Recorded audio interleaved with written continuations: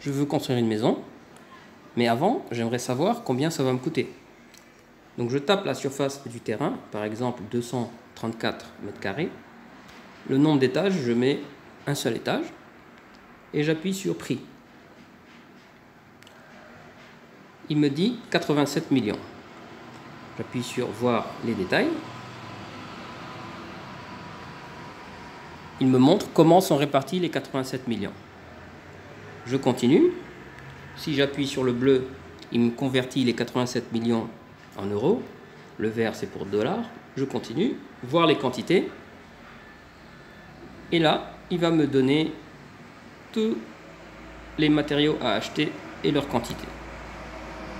il faut toujours bien regarder le texte en jaune pour être sûr qu'on est bien sur le projet qu'on a demandé, c'est-à-dire un étage et un terrain de 234 mètres carrés. Voilà, c'est une application de devis en bâtiment.